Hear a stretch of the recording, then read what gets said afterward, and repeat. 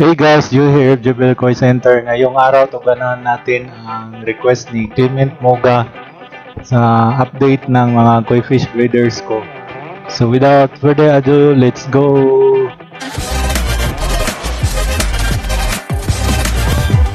Huwag kalimutang mag-subscribe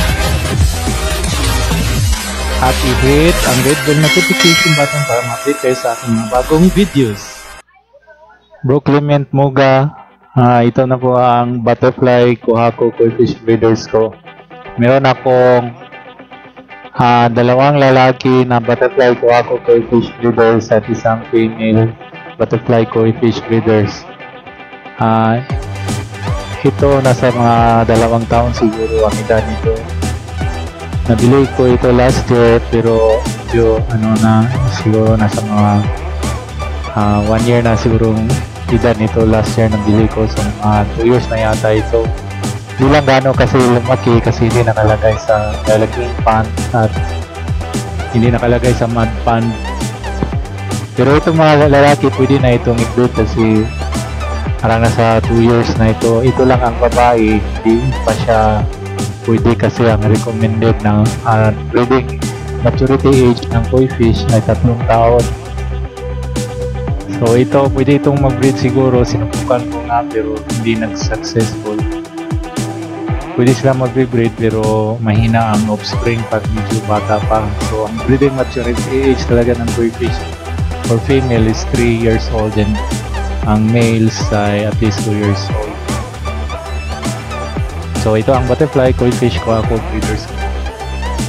Ito naman ang mga other breeders ko 1, 2, 3, 4, 5, 6, 7 ito na lang ang natira sa ah, ano bah, ah, sa baha last year last July 2019 baha yung medyo mga malalaking breeders ko na ano na wash out ng baha. So ito na lang natitira hindi gaano malalaki.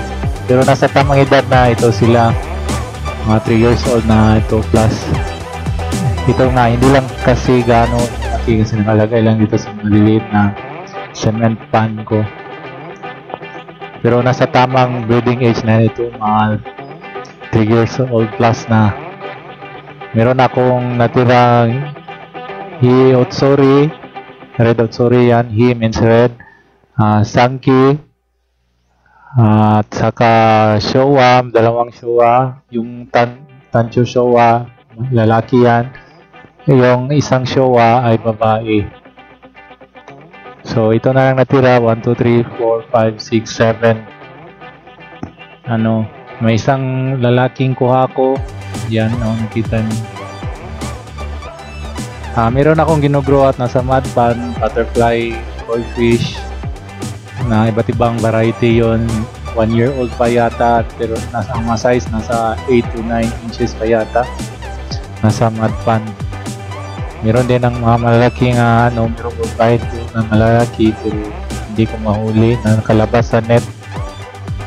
Okay so tingnan natin sa mud ito naman ang ano mga iba't ibang klaseng butterfly koi fish na ginugrow out ko sa mud pan ito ang sinabi ko sa iyo bro, bro Clement Moga. Iba't ibang variety ito. No, tingnan nyo may Gushiki butterfly koi fish may Sanki butterfly koi fish uh, Otsuri butterfly koi fish meron uh, Kohako din meron din ano Hiro Otsuri Kujaku Hariwaki at uh, iba pa. Meron nga ano uh, Yamabuki Machuba. Ba't iba ang klase ito ng ano uh, butterfly koi fish nasa 1 year old you grow out ko gagawin ko mga breeders yan yan sila so yan ang ano i nakalagay sa net So guys, please support my channel guys. Uh, Brunel, uh, Clement Mogab. Pag-share sa mga koi fish keepers friends nyo para medyo ta lalago ang channel ko para makabili ako ng additional uh, koi fish breeders. Pahit naman mga guys, just comment, like, and share. Subscribe my channel para meron naman akong maibibili na additional uh, koi fish breeders pag makasahod ako. So, th- thanks Dan guys.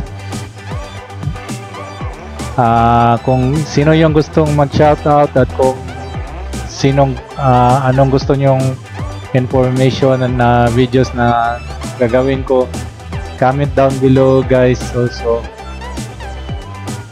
Yan, ito mga butterfly ko, fish ko na nasa mud pan. Hindi gano'n sila lalaki guys kasi nakalagay sila sa fish cage din, hindi ka kasi sila makalabas kasi pinoprotektahan ko sila sa mga predators sa mud pan merong malalaking ano dyan sa labas. Ah, tingnan mo ang nasa labas oh, di ba? Madali silang lumalaki compared sa nasa loob. Kasi pag bumabaha din mawawash out sila doon sa river. Napunta sila sa river kaya problema ko nga paano huliin yung nasa labas. Kasi rainy season na naman. Yan o, merong malalaki na kuha ko sa 20 inches yati ya, yata yan. Female pa yata.